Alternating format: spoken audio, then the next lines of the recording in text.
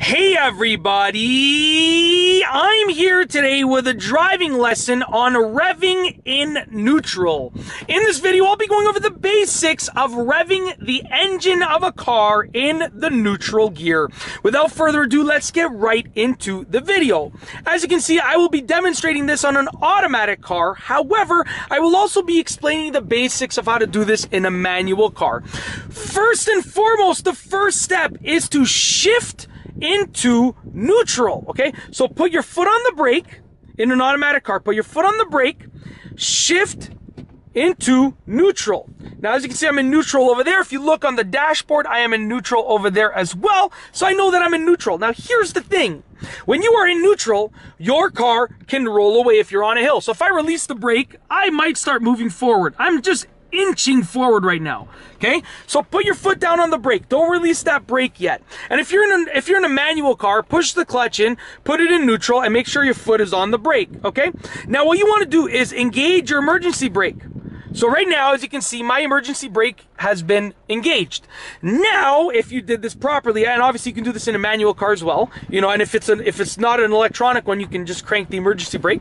Now, if I release my brake from the brake, uh, if I release my foot from the brake pedal, if I release the brake, not my brake, if I release the brake pedal, then my car should not roll away because my emergency brake is engaged. Now that the car's in neutral, when you push your foot down on the gas pedal, guess what? You can rev it in neutral. Listen to that baby purr. Listen to that.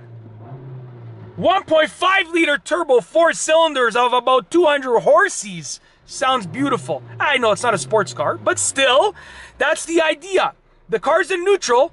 If I put my foot on the gas pedal and I rev the engine just like that, then guess what? I'm revving the car in neutral. I'm revving in neutral. The car's not moving anywhere.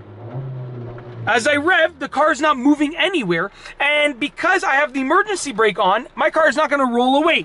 However, if the emergency brake was off, okay, and I was on a hill, my car would roll forward. Like in theory, it's raining, so I'm not going to do this right now. But if I open the door and I started pushing my car in the neutral gear without the emergency brake on, I would start moving the car. Okay, but once again, the uh, the engine is disconnected from the transmission, from the drivetrain. Basically, it's not disconnected from the transmission. It's basically separated from the drivetrain. So when I rev the car, just like that, the car doesn't go anywhere. The wheels don't spin. The wheels don't move. Now, like I said, I'm on a flat surface, so I'm not really uh, worried about the car just all of a sudden just taking off in neutral. But if you are on a hill, please remember, and you don't have the emergency brake on and you release that brake pedal, your car's gonna roll. Trust me. And it will pick up speed really quickly. So please put your emergency brake on, just like that.